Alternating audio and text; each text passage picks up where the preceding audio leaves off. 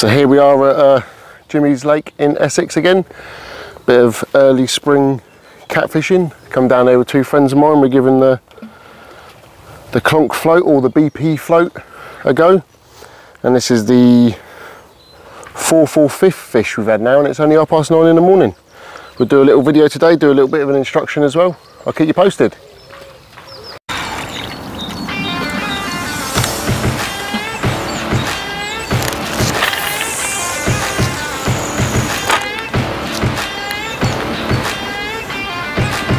He's still there.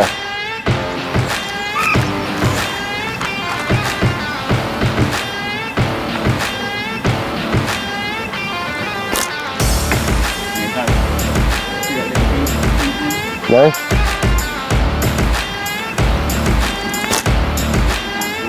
Yeah. Yeah, got him. Fuck that's, see, just, there was just a tiny little bit, like bloody thing is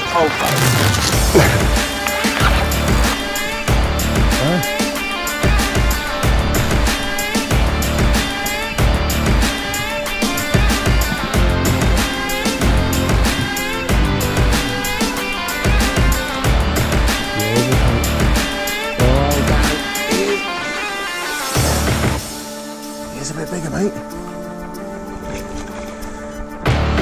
Smack bang in the top, look.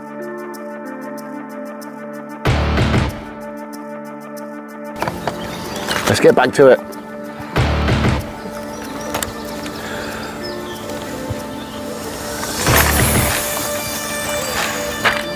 That's quite nice to see whopper as well. Big one. We get to see how much further you're going as well again. Yeah, you're not that much. Not much, is it? But that's where it is.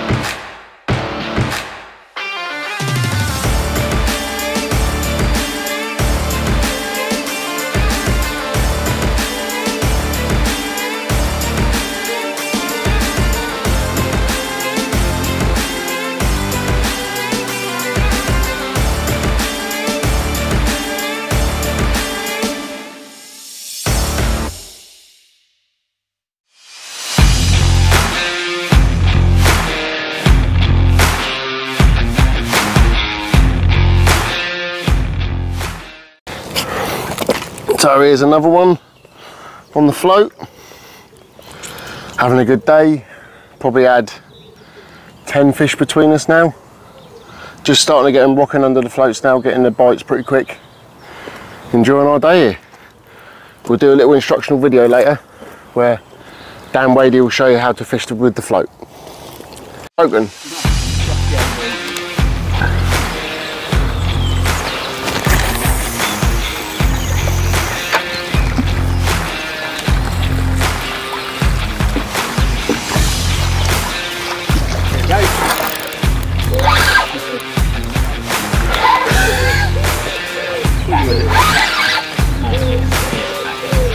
Nah, that ain't a kidding. It's decent fish this one, Dan. Oh!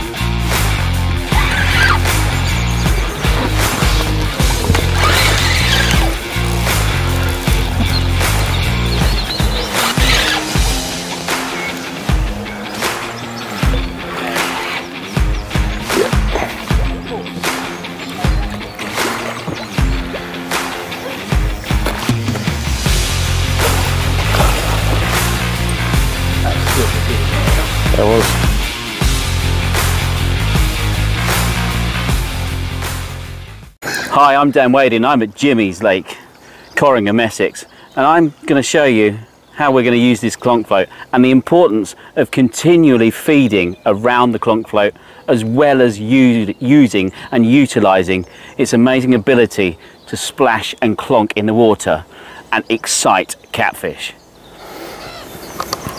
Just going to cast it out now.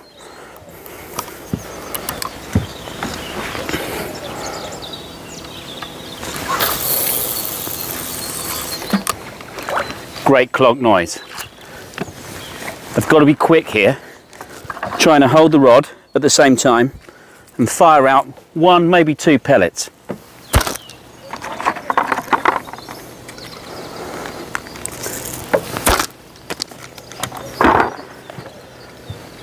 Just to keep some attraction in the water. I'm constantly watching the float, trying to make sure I'm ready for that bite. The float might slide along the surface or it might just completely disappear. It all depends on how the catfish is going to attack.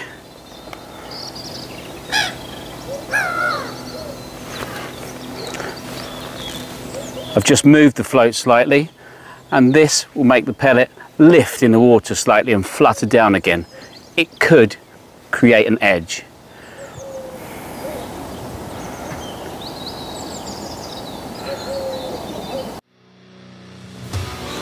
Here you can see the importance of the twitch Dan was referring to. Here we're firing the pellets. As we finish firing the pellets, the float is twitched, then it slides away, resulting in a fish.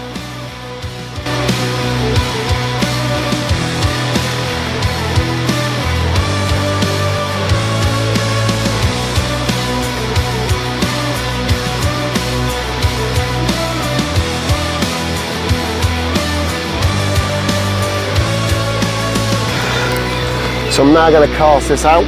We're going to get just the other side of a bar where the fish seems to be hiding at the moment. It's a fairly decent cast, maybe a little short.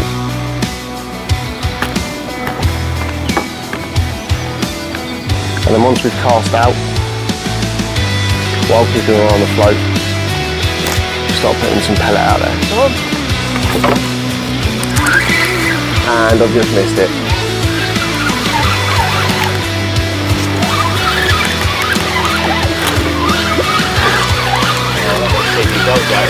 That was TV gold right there. No?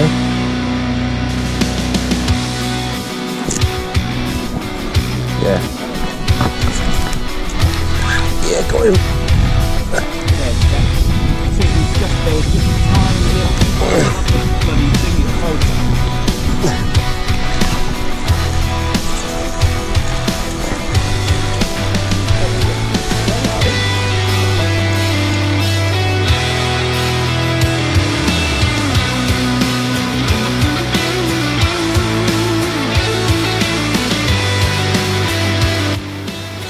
While we were there that day, a young man called Dave was in the peg next to us, struggling to catch his first catfish.